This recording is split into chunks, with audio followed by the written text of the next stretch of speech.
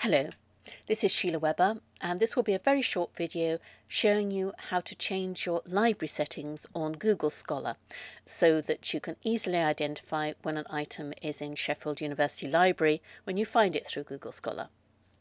So if you click on these three bars here, you'll click on Settings and you'll see here there's an option for library links.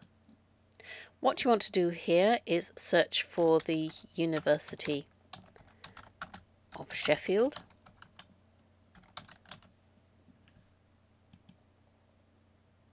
And you'll see it comes up here. So click it on here and then save.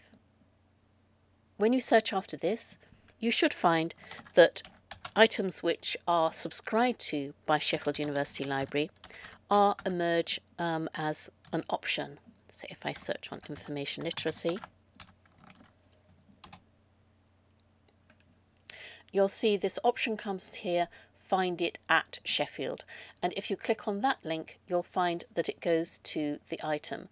So if I click on 2016, to just find items from 2016, you'll find there's more find it at Sheffield options come up.